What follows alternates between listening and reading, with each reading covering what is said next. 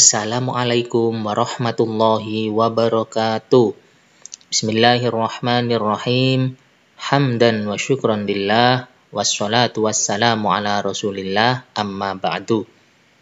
Apa kabar anak-anakku sekalian? Semoga kita semua dalam keadaan sehat walafiat dan selalu dalam lindungan Allah subhanahu wa ta'ala.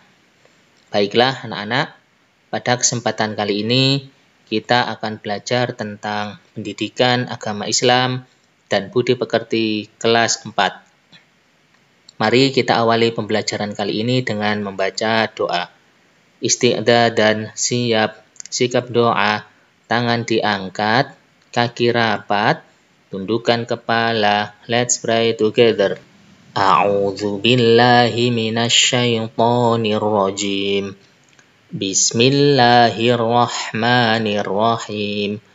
Rabbi zidni ilma warzuqni fahma birahmatika ya arhamar rahimin.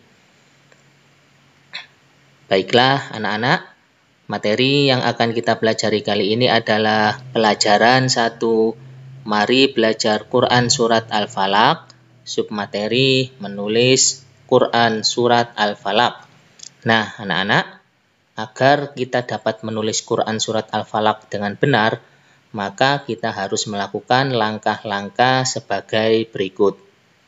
Yang pertama, kita harus mencermati cara menulis penggalan Quran Surat Al-Falaq termasuk huruf-hurufnya. Misalnya, di ayat 1, Kul a'udhu birabbil falaq kita perhatikan sebagian huruf-huruf seperti lam, wawu, ro, dan of. Posisinya itu agak ke bawah garis. Kemudian yang kedua, menyalin tulisan penggalan Quran Surat Al-Falaq. Coba mari kita perhatikan bagaimana contoh menulis penggalan Quran Surat Al-Falaq Kemudian mari kita salin penulisan penggalan Quran Surat Al-Falaq tersebut sebagaimana di tabel berikut ini. Nah, anak-anak, sekarang coba kalian salin di buku kalian seperti apa yang tertulis di tabel tersebut. Setelah itu, kalian foto dan kalian kumpulkan kepada Pak Guru. Terima kasih. Alhamdulillah, pembelajaran kali ini telah selesai.